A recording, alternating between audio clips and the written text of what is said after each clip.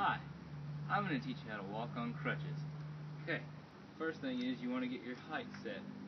I'm about 6'1", so it's set to 6'1". Then, what you want to do, you don't want to put them in your armpits. You want to put them just under it to your side. Hold them really tight.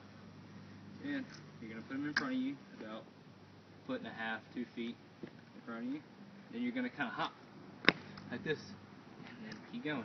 And you just walk, just like that. And that's how you walk on crutches. Go. Alright, so now I'm going to teach you how to walk upstairs. When you approach the stairs, you want to go foot first, strong foot first. You bring your foot up, and bring the crutches up with you. Foot up. Because if you don't, this is what happens.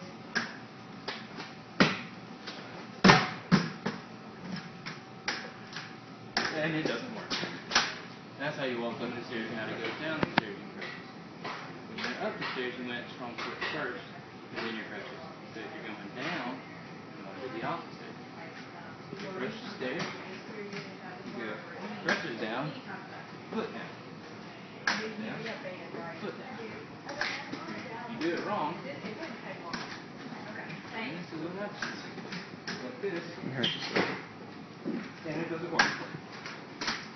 That's how you go downstairs and I'm going to teach you how to walk up the. Basically, you do the same thing.